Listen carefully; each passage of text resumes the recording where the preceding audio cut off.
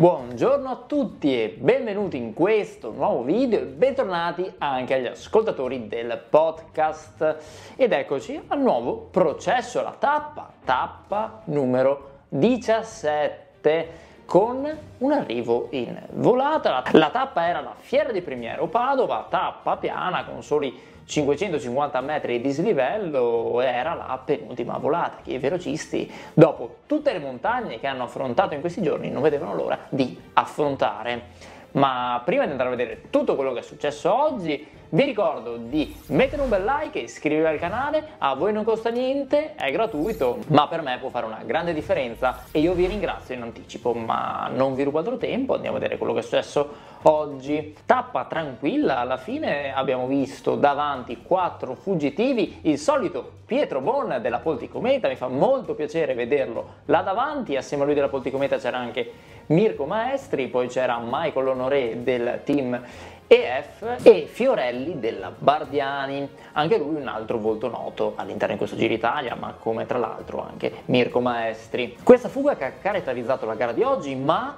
le squadre dei velocisti non hanno voluto farli prendere troppo vantaggio perché li hanno sempre tenuti sul minuto, minuto e mezzo all'incirca, quindi si sapeva che i velocisti ci tenevano questa tappa, ha tirato praticamente tutto il giorno la leader track di Jonathan Milan e cosa è successo? Niente, davanti c'erano i quattro fuggitivi, dietro il gruppo che controllava ai meno 50 km parte un uomo dal gruppo, un uomo delle F. Strano perché le F davanti c'aveva comunque Michele Honoré e parte lui, viene ovviamente rincorso da un uomo della Lidl chiude subito il buco e subito dopo di loro parte in contropiede Edoardo Fini della Visma Lisa a bike. E provano ad inseguirlo ma fa un bel attacco e riesce a uscire fuori dal gruppo e riesce a riprendere i quattro fuggitivi. Mancano 50 km dall'arrivo, hanno 30 secondi di vantaggio e hanno provato in tutti i modi a resistere al gruppo, ma in meno 10 km il gruppo senza problemi, quasi, fa chiudere sui fuggitivi e quindi si chiude questa gara in volata. Come immaginavamo questa gara si chiude in volata e i velocisti stanno scalpitando per prendere le posizioni migliori perché fino agli 800 metri è praticamente una strada tutta dritta. Però dagli 800 metri i corridori dovranno affrontare due curve. Occhio perché questa non è una cosa da sottovalutare perché quando arrivi una strada tutta dritta, più di 10 km dritti senza curve, dove devi solo cercare di tenere la posizione e poi ti trovi due curve, un po' ti scompiglia la volata, diciamo. E quindi la volata diventa un attimo mossa. Arriviamo là davanti con gli uomini di classifica che fortunatamente erano tutti dietro e non ci sono stati problemi, anzi in meno 10 km all'incirca Tim Aresman ha avuto un problema, ha cambiato la bici, ha preso, quello, ha preso quella del compagno di squadra e in poco poi è riuscito a rientrare all'interno del gruppo, quindi non ci sono stati problemi per Team Aresman dopo quel cambio di bicicletta. Arriviamo agli ultimi chilometri, quando ci sono le squadre dei velocisti davanti, si mette davanti il team Alpecin che oggi non aveva tirato per avvantaggiare Caleb Groves la linea del track è sempre perfetta negli ultimi chilometri, però Milan è leggermente un attimo dietro. Ci troviamo all'imbocco della prima curva, meno 800 metri, prima curva, seconda curva, escono in testa perfetti anche oggi lì del track. Il problema è che quando si girano con Sonny non trova Jonathan Milan che era all'incirca 10 posizioni dietro. Dietro di loro c'era Cimolai che doveva far far la volata a Fernando Gaviria. La situazione è stata questa, i due davanti si spostano, non c'è nessuno e si fermano leggermente. Quinta posizione c'era Dainese, che era il mio uomo che vi avevo detto ieri, che era il mio favorito di giornata perché correva in casa e ha corso questo giro tappa dopo tappa migliorando sempre di più. Si trova davanti Cimolai, prova a fare la sparata per avvantaggiare Gaviria, dietro c'è Dainese che prova a partire lungo e proprio questa cosa non l'ha avvantaggiato perché poi si è leggermente impiantato. Da dietro arrivano come i caccia Team Merlier che va a vincere la sua seconda tappa in questo Giro d'Italia e dal nulla poi sbuca anche Jonathan Milan che chiude in seconda posizione con un rimontone assurdo.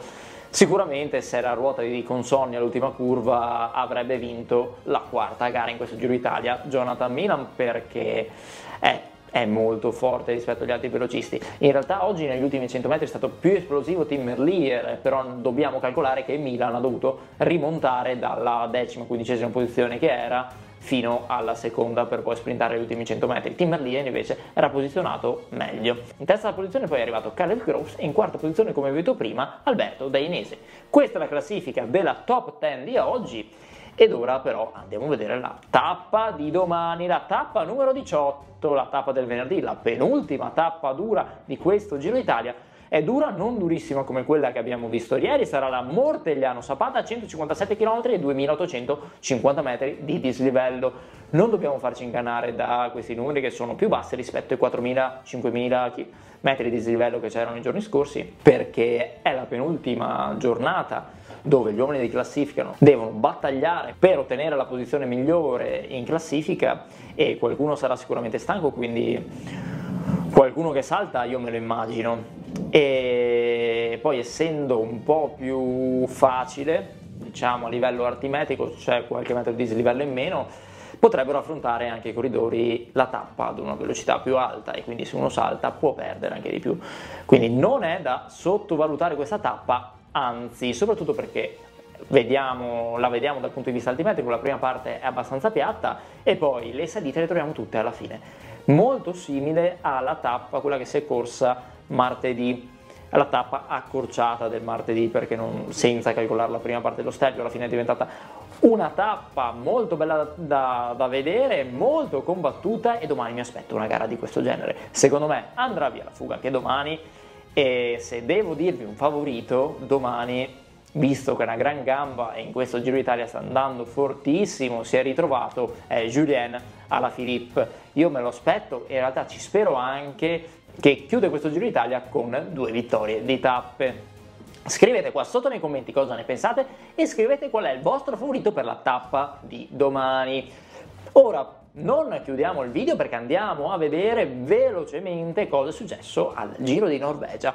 Oggi mi sono messo a registrare un po' più tardi il processo alla tappa perché c'era il Giro di Norvegia anche, una gara comunque carina che a me piace vedere, quindi finito il Giro d'Italia mancavano circa 25 km al Tour of Norway, me li sono guardati e a vincere è stato Thibaut Nis, Thibaut Nis che è il figlio di Sven Nis, figlio d'arte, Sven Nis che è una leggenda del ciclocross, Thibaut anche lui è molto forte nel ciclocross, ha vinto da juniores campionati del mondo della specialità, anche da Andersen non mi ricordo male, in questi ultimi anni sta correndo con gli elite contro Van Der Poel, è uno tra i più forti al mondo, e, ma oltre al ciclocross sta andando anche molto bene su strada. La squadra del padre, perché è gestita dal padre, la squadra di ciclocross dove corre è la Baloise Trek e essendo diciamo, una squadra di, di, Trek ha in comune la Lidl Trek, quindi lui d'estate corre poi con la Lidl Trek. Questa cosa è molto bella da vedere nei team per la multidisciplina perché tanti team che troviamo nel ciclocross o nella mountain bike poi possono far correre corridori sia da una parte che dall'altra, ci sono anche tanti altri esempi tipo Korecki, in realtà non quest'anno ma lo scorso anno correva su strada con la Bora e in mountain bike con eh, il team Factory di Special Race.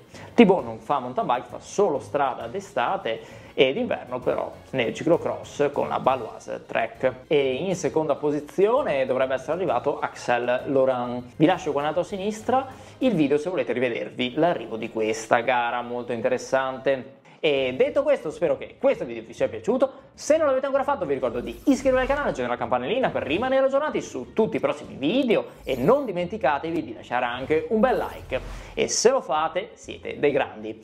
E io vi saluto e ci vediamo alla prossima!